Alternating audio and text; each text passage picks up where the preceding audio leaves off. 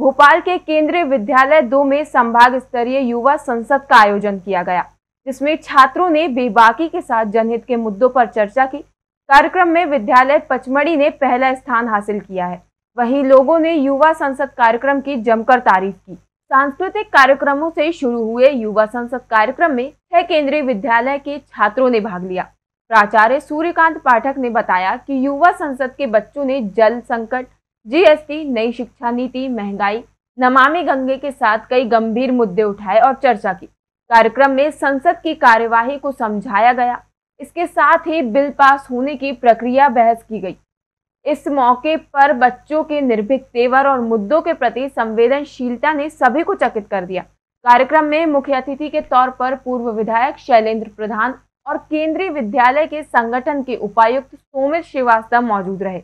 युवा संसद में पचमढ़ी केंद्रीय विद्यालय ने पहला और ग्वालियर ने दूसरा और भोपाल ने तीसरा स्थान हासिल किया है। इस मौके पर शैलेंद्र प्रधान ने युवा संसद की तारीफ़ की और अपने विचार रखे। आजकल सदन में हो हल्ला काफ़ी होने हमें याद है कि जब हमारे वक्त में ढाई ढाई, दो दो महीने विधानसभा चलती और हर विषय पर डिस्कशन होगा हर विषय पे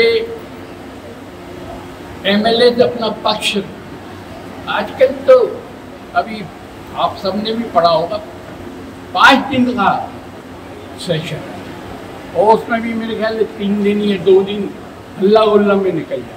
पहला दिन तो कंडोलेंस में जाते ही है। What starts here changes the world. The world of opportunities. The world of inspirations. We are LNCT Group, where every beginning changes the world, providing the best results, highest packages, and delivering the best manpower to the biggest companies in the world. LNCT Group. Choose the best to be the best. For admissions, call 7440 777 Rabindranath Tagore University, the pioneers in skill development with focus on creating industry-ready professionals.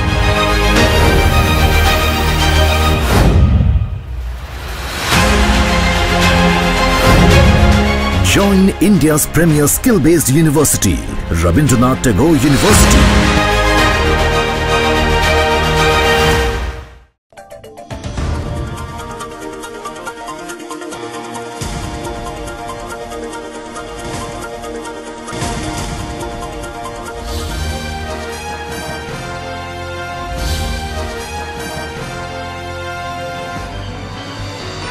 आप देख रहे हैं दखल news.